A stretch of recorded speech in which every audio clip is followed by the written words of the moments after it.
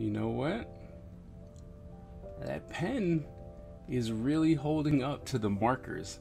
So that's actually that's actually nice. So you can actually go and get Five Below markers and use your Five Below pen and it doesn't smear.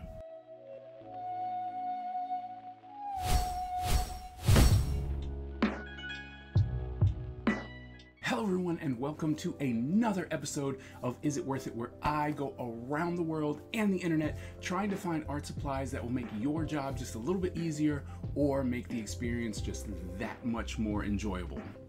Today we are going back to Five Below because they are absolutely killing it with all these art supplies recently.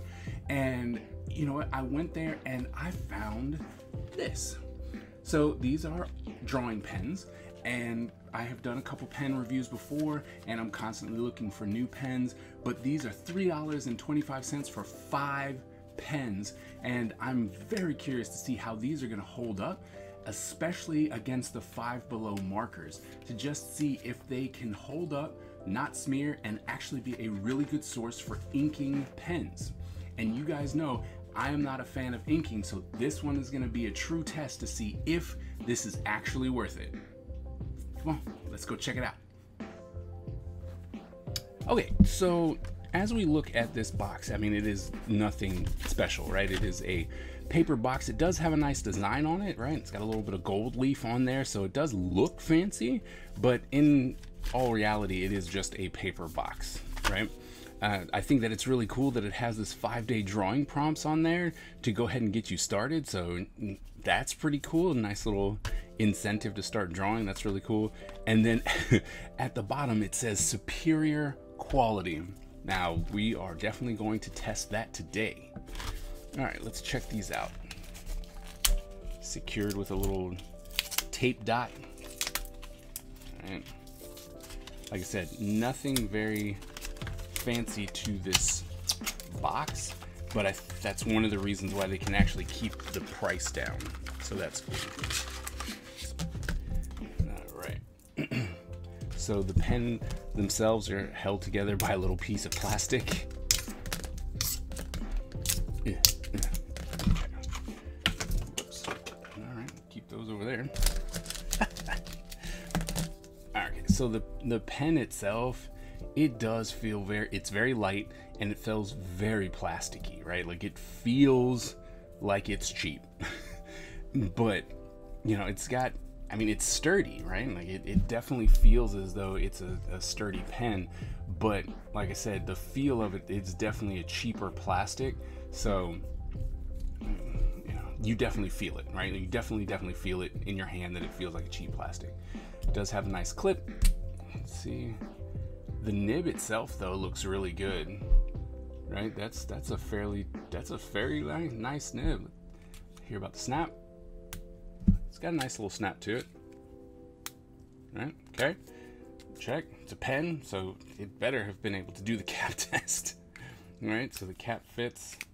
All right, and we got a, a, a point two, a point four, a point six, a point eight, and a one.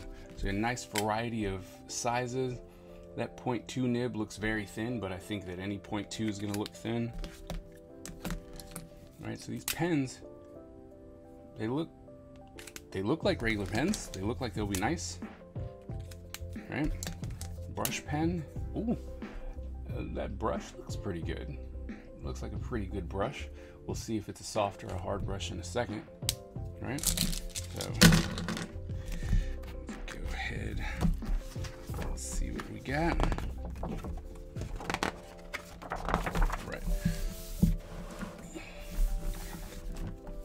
I'm gonna go ahead and start with the smallest nib.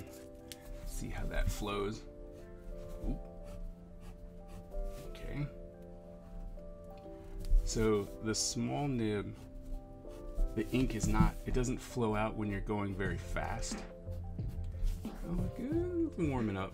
But yeah, so you can you can see that the ink pools here and here, but as you pull it across, the flow of ink, I think it's because the nib is so small, you don't actually get a lot of you don't get a lot of consistency with it so it's really this the small nib is definitely going to be something that you have to use, you know, slower, slower marks to allow for the ink to actually flow out of the nib. So the 02 or 0.2 is definitely not something for when you're trying to do speed because it just cannot let out enough ink even after warming up it still gets a little light as we move through it so. Yeah. So the the zero the point zero or the point two is it's all right. I mean when it crosses over each other it doesn't make too much of a difference as far as the ink goes but like i said the the flow on that is a bit of a problem for that. If you you definitely got to go a lot slower if you want to use that. So I guess for great details and stuff like that, it would be really good. But if you're trying to do some sketching or stuff, it, it's always going to have this faint line that goes through it. So moving on to the point four. Oh, this one actually allows the ink to flow a lot faster. So you are getting a lot more ink out of it. And what I like about this pen, the point four, is that it doesn't actually pool at the tip unless you kind of leave it there. But if you put, if you're already moving, when you put the nib, the pen down on paper, it actually flows very, very nicely out of it. The lines don't seem to be too much thicker from the point two to the point four. So in my opinion, if you were gonna start using these, you would use the point four. The ink is a lot richer. It's just because the nib's bigger so the ink can flow out of it better. But it's still, no, it's pretty good. When it crosses over, it doesn't give this the idea that there's a whole lot of color shift between the two. So that's really good. I mean, it flows nice. Okay, 0.4. Go to 0.6.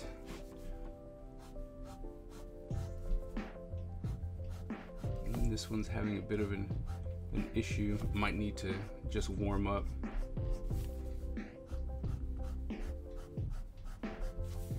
No. So the ink on these is seems to be different even after warming up. Like these gray, these look almost gray. Right? It, it is definitely a lot lighter when it comes to the ink flow out of these. So this isn't working as well as the point four for some reason. Like it's not as dark. And because of that, it's just not it's not as good as it could be. Like it flows really nicely, but it is just not not something that is holding up the opa- opacity of the black as much. So it really isn't working to the point to where you need it.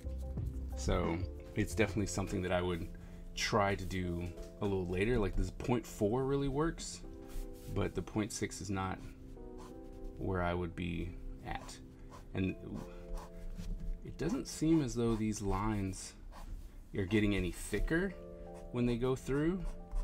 Right? When you go up point two, point eight. And so it's not flowing as much ink as it should. So seems a bit odd. Although the point eight is definitely getting a lot more ink, and it seems as if you push down harder on the paper, it allows more ink to come out. But to be honest, the ink itself just doesn't have the opaque nature that a, a good inking pen should have, and it seems like you'd have to constantly go over the line in order to make it actually black. So that is a bit of an issue.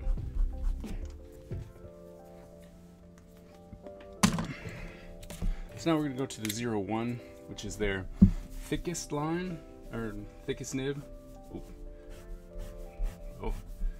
So a lot of these pens, like you really got to warm them up before you can even go. I don't know. Maybe it's not necessarily the the pen. These, like I said, it's like this one pretty much is just dead. Right, look at it. It's all the ink's not coming out of this one. once you once you warm it up, it starts it starts moving. So the ink is coming out, but from what I can tell, the ink itself is not like I said, it's not as opaque as it should be. And then it's also not flowing out as well. Um,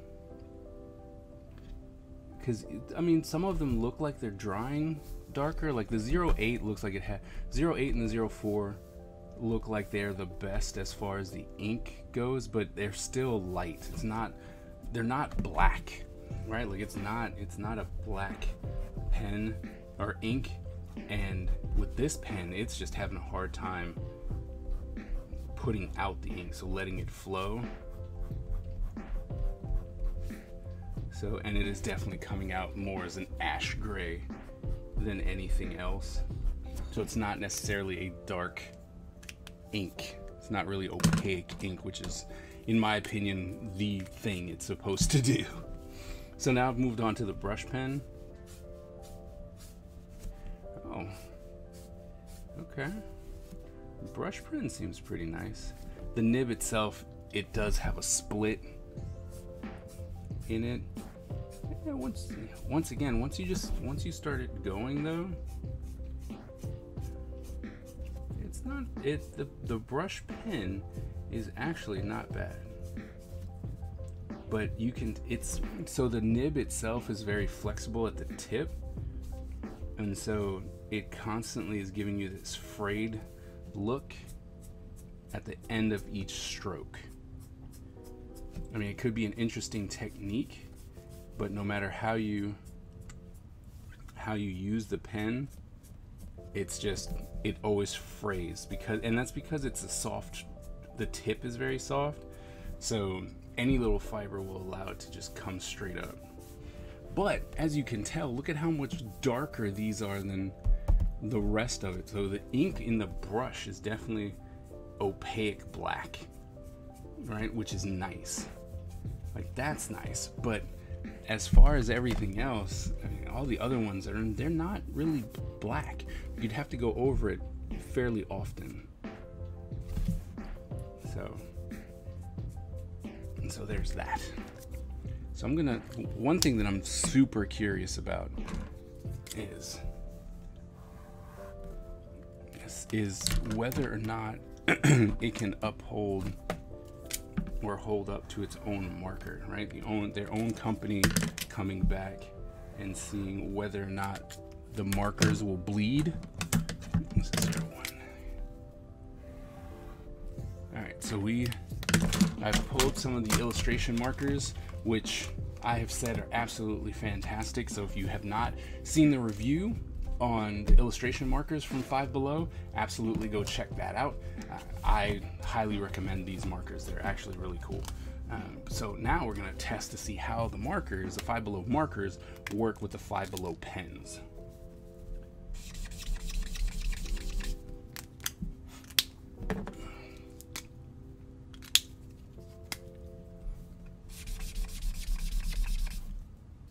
And we're just taking some colors.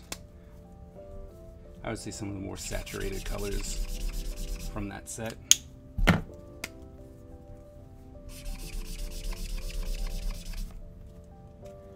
right, they're nice and coated. Let's see. You know what? That pen is really holding up to the markers. So that's actually that's actually nice. So you can actually go and get Five Below markers and use your Five Below pen, and it doesn't smear. Like it doesn't, it doesn't smear. Oh well, hold on. Maybe just a little bit on this little bit of yellow. I mean, and it is minute. I mean, you probably wouldn't even notice if you were doing some inks and stuff like that. So, I mean, that's really nice. The fact that they can actually interact with each other, the pen and the markers, they're they're actually made to work very very well with each other. So that's nice. That's very nice. All right, so we just got done reviewing the six artist pens from Five Below, and I think in this one you really get what you pay for for the three dollars and twenty five cents that it cost for this pen set. It's not it's not necessarily the worst, but it's definitely not the best. And one of the main things that I think is the problem is because the ink just isn't opaque. So it is like a 60%, 60, 70% black. And so you're not really getting that rich, opaque black ink that you would normally get from a different pen like a Micron pen or a touch liner or, or even the Copic pens, right? Like I think the other ones have a richer ink. So if you're trying to do something that requires that kind of dark, rich ink that we're going over pencils or you want to make sure that the markers pop and stuff like that, then you might need a different pen. the brush itself was really nice, rich, dark ink, but the the nib itself, the brush itself, kind of frayed towards the end, and so it would force you to actually come back in and clean things up. So it's also not necessarily something that I would want to deal with, so I don't think that you would want to either. So as far as these pens go, I think the best benefit to these is the fact that the markers just they don't interact as far as it doesn't make it bleed, it doesn't affect it, it doesn't make it spotty. They work really well together, which is a nice plus. And you know, the fact that the the brush ink and the nib ink is so drastically different really makes me believe that it's probably just the set that I got and that maybe it sat for a little bit and so the ink consistency is no longer the same but it's not that big of a deterrent right it is it is but it isn't because if you're okay with the way that it looks like if that black is dark enough for what you're doing then these pens are great but like I said, if you're looking for a rich, dark black ink, from what I saw, these are these are not it, right? And so that's something that you have to keep in mind. But the nib was great for all of them. Every single one of them, the nib was nice and strong, so there was nothing to worry about that. The ink flow, not so much. You definitely had to warm it up first, and then even then, the ink wasn't necessarily the best, right? And and the consistency of the line. So you'd probably have to go over it a couple more times, but it was only three dollars and twenty-five cents. So that is something to consider. I think that it'll work just fine if you're just using it for whatever. But this is this isn't even something that I would say, hey, you know what you should do? You should go pick these up and give it to your starting artist because I mean, they might not know any better, but if they are interested in art, these would be more frustrating than they're worth. Okay. Now, you can take that with a grain of salt because, like I said, it might have just been a manufacturing error. I don't know. But from what I got, these just aren't worth it.